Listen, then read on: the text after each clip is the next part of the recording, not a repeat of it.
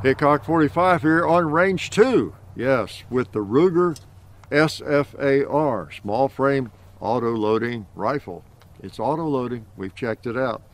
So before we send this back to Bud's, we thought maybe ought to play with it on range two. Okay, on the smaller targets, just have some fun.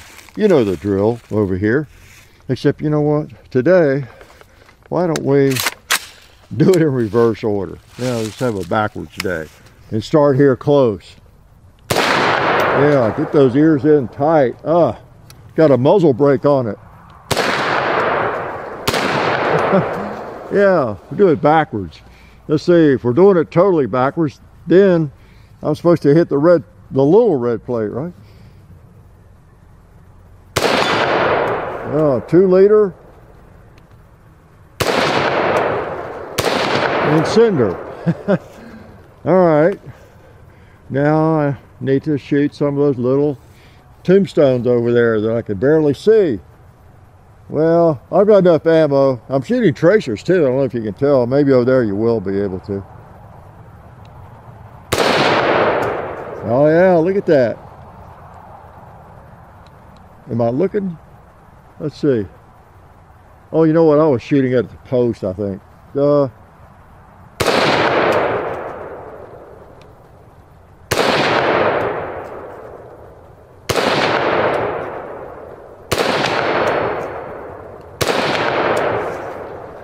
right, settle down.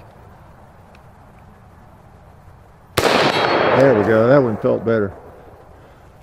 All right.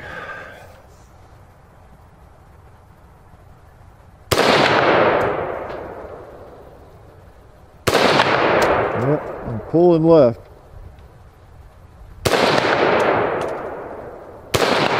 There we go.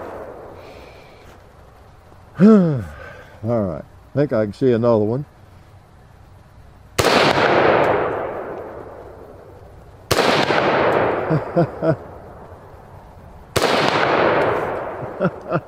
yeah, old Tracer's acting up. Is that all of them?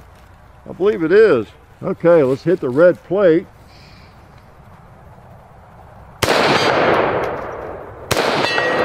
Yeah, I cheated. I hit it twice.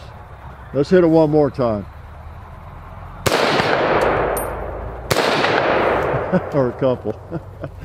so anyway, oh, look, that means we have one round left. I can't leave that in there, can I? Now, the proper way to empty a firearm. Notice the bolt didn't stay back. Why? Because I pulled the mag out, right? So we are empty. So anyway, the Ruger SFAR, thought we'd bring it over here and miss a little bit over here with it. Uh, interesting rifle, has done well, and uh, glad you came out on this blustery cold day to enjoy it with us really